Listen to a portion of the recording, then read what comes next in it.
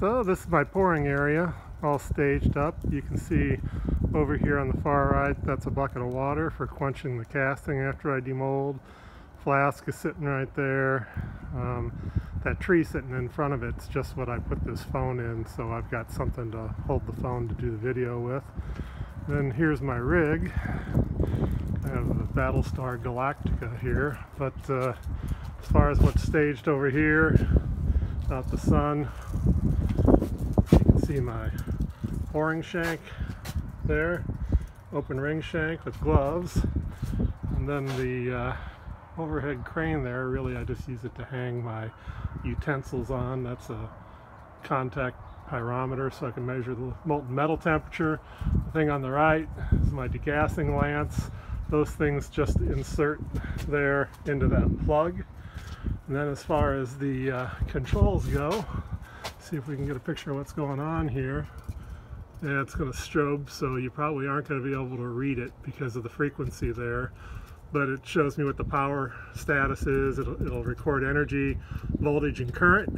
You probably can't read it because I can't see it. It's strobing across, but it's uh, in the vicinity of 8 kW, 240 volts, 32 amps. And then here, same thing, it's strobing, but hopefully you can see it strobing.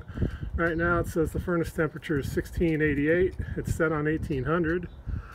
And that is hard to read too, but that shows it's 33 degrees Fahrenheit out because that's my barometer hanging on, on the tree over there. But when I insert that um, in the furnace, I get a reading on the metal temperature. The rest of it's just bells and whistles. Um, the button on the right there, this one allows me to turn off all the uh, furnace coils so I don't electrocute myself when I reach in there. The rest of them just hour meters and these are the status lamps. This tells you if power is actively being applied uh, to the uh, to the coils or not and this shuts down everything if there's a panic and then this little circuit up here is just the DC voltage circuit for controlling the actuator um, up and down uh, on the furnace. So when you see me fiddling around with everything, that's what's going on.